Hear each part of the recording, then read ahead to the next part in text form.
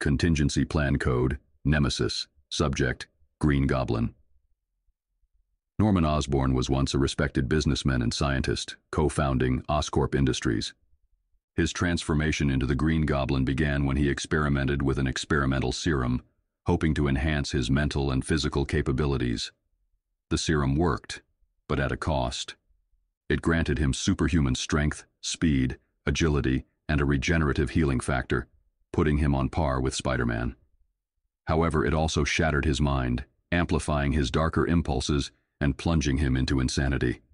His arsenal is extensive and deadly. The Goblin Glider is a personal aircraft equipped with advanced weaponry. His signature pumpkin bombs are explosive devices with various effects, incendiary, smoke, gas, and even electromagnetic pulses. Osborn's razor bats are flying blades capable of slicing through most materials. Additionally, he has incorporated an electrical discharge into his suit, allowing him to electrocute enemies with a touch. Osborn's psychological profile is as dangerous as his physical abilities. The serum that gave him his powers also exacerbated his existing narcissism and paranoia.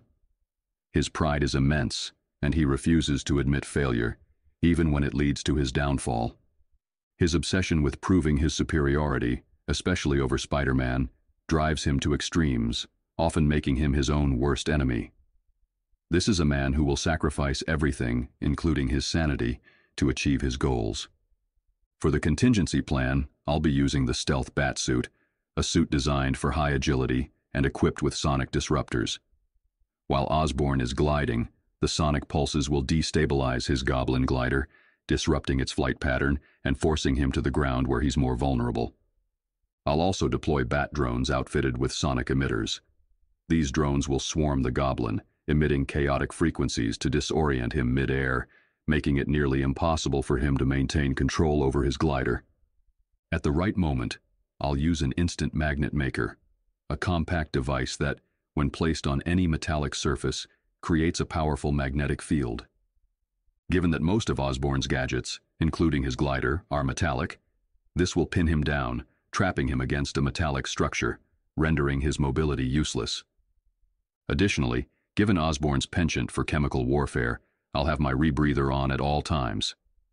This rebreather is designed to filter out the hallucinogenic gases Osborn favors, ensuring I remain clear-headed even if he resorts to his toxic arsenal. Lastly, I'll equip rocket boots for enhanced aerial maneuverability. These will allow me to match the Goblin's flight capabilities, dodging his attacks while staying in striking range. The boots provide precise control, enabling me to navigate through his barrage of projectiles with ease.